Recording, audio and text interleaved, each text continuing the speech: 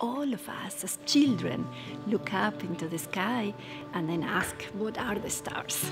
The research that we do here is on understanding the universe, something that all humans wanted to do from the beginning. We cannot see black holes with regular telescopes, but we can see the gravitational waves that are produced by black holes, and that's what this instrument does. I thought that that was so exciting, that you needed an instrument that was had to be so sensitive to measure effects that were so small that many people believed they couldn't be measured.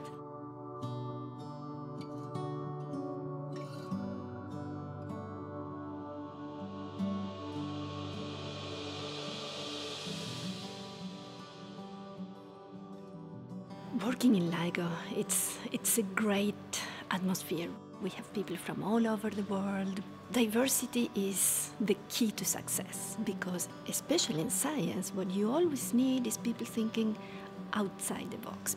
I've had great graduate students that came to LSU because they could do their research in LIGO. They are doing now very well out there in the world, in industry, in NASA, in LIGO.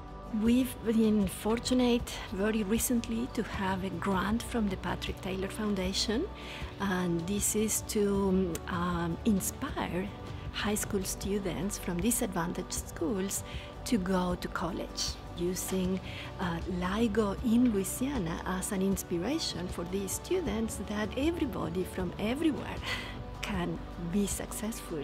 And that's why I am fierce for the future.